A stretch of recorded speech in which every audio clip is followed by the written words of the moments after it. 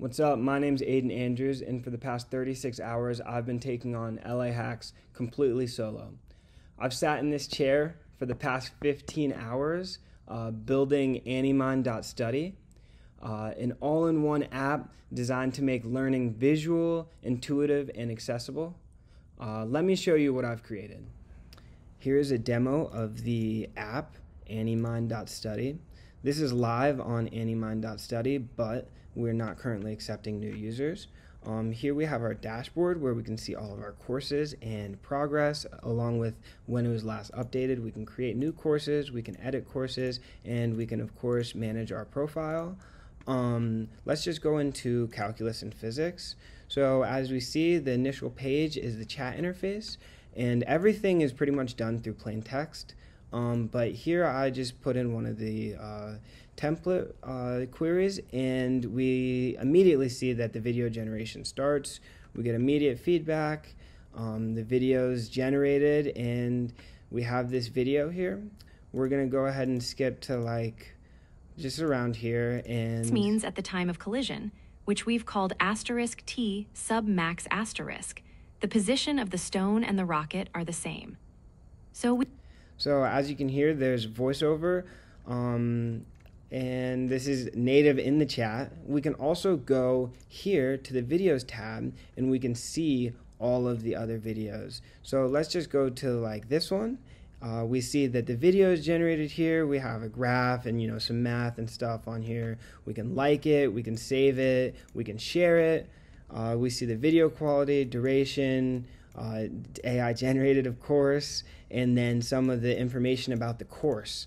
Um, this is all generated along with these template queries, all generated based off of the content that the user uploads into the content section. So they can upload any files that are PDF, docx, whatever. Um, you can easily add more files, but um, yeah.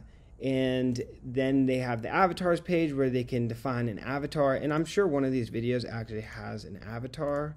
play Um, yeah, so this video has an avatar, as you can see, which you can define. There's another course here, Neural Networks. This course has a little bit more video, or a little bit better videos that in in my opinion they're pretty short because i generated them with just the scene generator instead of the entire uh, video agent just to save time. But here's a video of back propagation. As we can see it generates this pretty intuitive animation um, with different kinds of um, you know animations that portray what it wants to say. Um, there, there are captions. The audio could have been generated pretty easily, um, but I believe there was an error when this was generated. But as we can see, I mean, there's tons of animations here. It's gonna, it, it clearly um, shows the user like what, what it wants to see. And here's here's another one with the avatar, and this one has audio. Welcome. Today we'll see how convolutional neural networks, CNNs, Yeah. So as we can see, um, this this count also has a little bit more uh, avatars. You can select which avatar you want, um, and this also has a little bit more content in it. So uh, that's why the videos were a little bit more specific. And we can click on one of these PDFs, and we can see that it is a full 101 page PDF and the platform is able to distill all that information and bring it here and generate uh, videos based off of that information. Um, you can also talk to the chat, uh, just ask it general questions.